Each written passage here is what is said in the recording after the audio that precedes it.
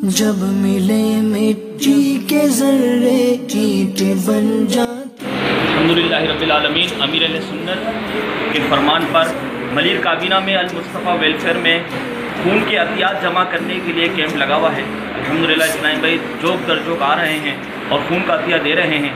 अगर आपने अभी तक खून का अतिया नहीं दिया हो तो आइए अलमुस्तफ़ा वेलफेयर खुबरापार नंबर दो नस अल्लाह वाली मस्जिद में 20, 21, 22 अप्रैल तीन दिन तक ये कैंप यहाँ लगा रहेगा सुबह 10 बजे से शाम पाँच बजे तक। तो आप आकर अपना खून का अतिया यहाँ दें। से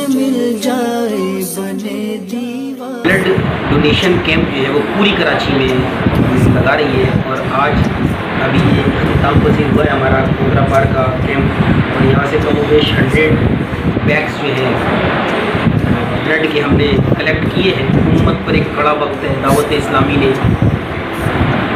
उन लोगों के लिए जिनको खून की ज़रूरत है खसूस थैलीसीमिया के मरीज़ इसका बेड़ा उठाया और हमने कैंपिंग शुरू की है, आप दावत इस्लामी का साथ दें। ये कैंप कल भी इन दस से पाँच तक रन करेगा और परसों भी दस से पाँच तक रन करेगा।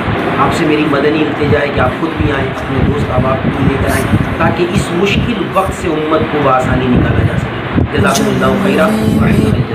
के जर्रे ईट बन जाते हैं वो, जब मिले मिट्टी के जर्रे